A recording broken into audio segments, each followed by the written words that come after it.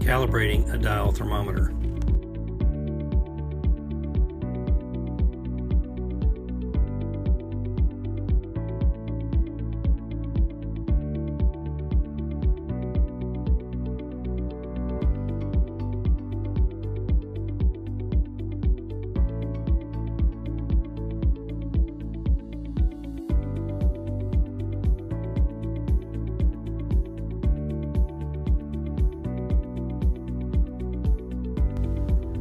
To test for thermometer accuracy, use a mixture of crushed ice and water mixed to form a slush.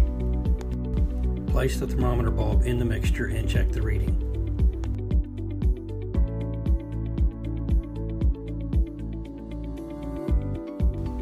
The thermometer should read approximately 32 degrees Fahrenheit.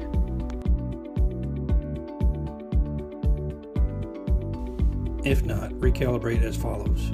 Remove the face cover off the thermometer. The cover will either screw off or pry off. Care must be taken not to break or damage the cover. Carefully hold the pointer, insert a screwdriver into the pointer slot, and slowly turn clockwise for a lower temperature and counterclockwise for a higher temperature. Carefully reinstall the face of the thermometer. You can visit our website for more installation videos at www.colpack.com or call 1 800 225 9916 for more information.